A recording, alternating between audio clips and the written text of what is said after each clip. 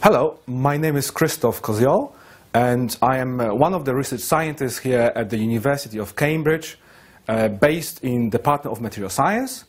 Um, working on very exciting material called carbon nanotubes. Science is a, is a subject, very broad subject, and it, I have been always uh, interested to uh, get involved in science since I was uh, pretty much uh, Uh, uh, uh, in my primary school, uh, I was involved in projects, scientific projects, either studying bacteria, looking at other behavior of, of small structures, looking more into polymer materials as well.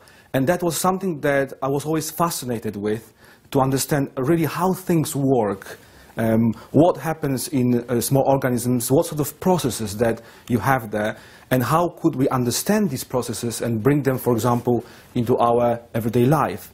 And similarly, um, I remember as I was uh, growing um, uh, further up, uh, there was a very interesting uh, presentation uh, by uh, by a professor coming to the university where, where, I was studying, and he was talking about uh, new materials. This was very much related to polymers at that level.